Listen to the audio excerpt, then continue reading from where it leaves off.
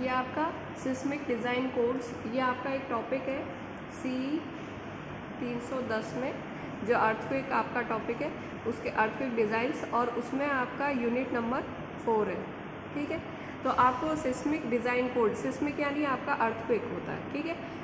उसका मेज़रमेंट का एक मतलब उसे डिफ़ाइन किया जा सकता है अर्थक्वेक से और डिज़ाइन कोड से। यानी कि अगर आप किसी भी स्ट्रक्चर को डिज़ाइन करते हैं और वो सिस्मिक जोन में आता है तो वो उसके लिए कौन कौन से मतलब कोड्स इस्तेमाल करने चाहिए? तो जैसे अगर हम बात करें कि जैसे फ्रांस है, अमेरिका, जापान, इन सब कंट्रीज़ बहुत सारी कंट्रीज़ है जो कि अर्थविक से इफ़ेक्टिव रहती है। तो इन कंट्रीज़ ने अपने थियोरटिकल और प्रैक्टिकल नॉलेज के थ्रू कुछ कोड्स का निर्माण किया। और इन कोड्स के इस्तेमाल करने से क्या होता है कि जब आप डिज़ाइन करते हैं, किसी भी कंस्ट्रक्शन को डिज़ाइन करते हैं, या जो आपका डिज़ाइन ऑफ़ सिविल अगर कहें तो उसमें क्या करेंगे कि आप उन कोड का इस्तेमाल करेंगे तो आप जो भूकंप से होने वाली क्षति है, उसको कम कर सकते ख़त्म नहीं कर सकते, लेकिन कुछ क्षति को कम किया जा सकता है। तो इन मतलब क्या हुआ कि सभी कंट्रीज़ ने अपने अपने अलग अलग कोड्स बनाए और उनके अकॉर्डिंग क्यों जैसे कि कई जगह पर ऐसा होता है कि जहाँ पर अर्थक्वेक का ज़्यादा इम्पैक्ट होता है तो वहाँ पर आपका अलग कोड इस्तेमाल होगा। और जैसे भारत में ही अगर हम बात करें तो पाँच जोन है तो उनमें अलग अलग जोन के लिए भी अलग अलग कोड है। तो उसके अकॉर्डिंग अपन लोग उनका इस्तेमाल करते हैं। तो हर अलग अलग एरिया के लिए या अलग अलग जोन के लिए आपको कोड डिफाइन किए गए तो भारत का एक अलग अपना स्टैंडर्ड कोड है जिसका कि वो इस्तेमाल करता है और इससे उसके जो अर्थक्वेक का जो इम्पैक्ट है, उसको कम किया जा सकता है। तो भारत में पहला भूकंपीय कोड बनाया गया था, वो आई एस आई एस की जो फुल फॉर्म है, वो इंडियन स्टैंडर्ड है। वो वन एट नाइन थ्री है, जो उन्नीस सौ बासठ में बनाया गया था। फिर प्रकाशित हुआ था इस आज बी आई एस यानी ब्यूरो ऑफ़ इंडियन स्टैंडर्ड ने निम्न भूकंपीय कोड बनाए तो पहली बार, सबसे पहले 1962 में कोड बनाया गया था और उसके बाद में अब काफ़ी सारे कोड्स हैं जिनका निर्माण किया गया और उसमें जैसे जैसे जैसे मतलब आपको कोई नया नॉलेज मिलती है तो उसमें मॉडिफिकेशन भी किए जाते हैं, ठीक है थीके?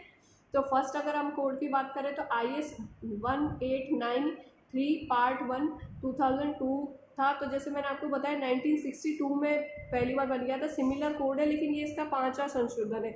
यानी पाँच बार इसे रेक्टिफाई किया गया है अकॉर्डिंग टू जैसे जैसे इम्प्रूवमेंट की गई नॉलेज आई, या फिर किसी तरीके का और कोई रिसर्च वर्क किया गया तो उसके अकॉर्डिंग इसमें इम्प्रूवमेंट किया गया और ये इसका पांचवा संशोधन है, जिसमें संरचना के भूकंप प्रतिरोधी अभिकल्पन के लिए भारतीय मानक मापदंड है। तो यानी ये मापदंड, यानी उसका जो स्टैंडर्ड मेज़रमेंट कहेंगे या उसका नॉर्मली उसका स्टैंडर्ड क्राइटेरिया कहेंगे, वो इसने बताया है। फिर नेक्स्ट है आपका I S four three two six जो नाइनटीन नाइन्टी थ्री में आया था इसमें भवन के अभिकल्पन के लिए भारतीय मानक कोड प्रैक्टिस और ये सेकंड संशोधन है। यानी कि इससे पहले भी इसी कोड का पहले किसी एक दो साल पहले बनाया गया होगा, ये इसका सेकंड संशोधन है।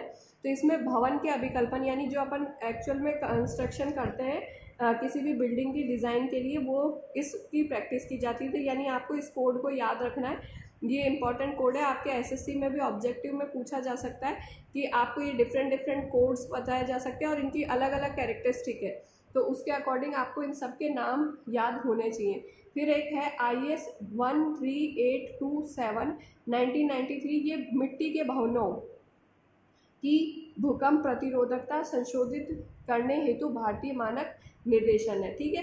तो ये मिट्टी के भवनों के लिए। फिर I S nine one three eight two eight nineteen ninety three ये निम्न सामर्थ्य की चिनाई भवनों की भूकंप प्रतिरोधकता संशोधित करने हेतु मतलब ये इंडियन स्टैंडर्ड ने निर्देशन दिए। तो ये जैसे ये मिट्टी के भवनों के लिए था, ये निम्न सामर्थ्य की चिनाई वाले जो भवन होते हैं, यानी लो लेवल वाले, जिसमें कि आप ज़्यादा क्वालिटी को बहुत मेंटेन नहीं करते, लेकिन नॉर्मली उसका इस्तेमाल किया जाता है। तो ऐसे पहाड़ी एरियो में नॉर्मली ऐसा होता है कि अवेलेबिलिटी ऑफ़ मटेरियल कम होती है तो लोकल जो अवेलेबल मटेरियल होते हैं, उन्हीं के अकॉर्डिंग मकान बनाए जाते हैं। तो जैसे मिट्टी के मकान के लिए उसने अलग बताया है, निम्न सामर्थ्य की चिनाई वाले मकानों के लिए अलग बताया। फिर अगर I S one three nine two zero nineteen ninety three ये भूकंपीय बल हेतु प्रबलित कंक्रीट संरचना की तन्यता विकृति के लिए इंडियन स्टैंडर्ड ने क्रोन कोड प्रैक्टिस किया है। फिर उसके बाद में I S one three nine three five और ये उन्नीस सौ तिरानवे का ये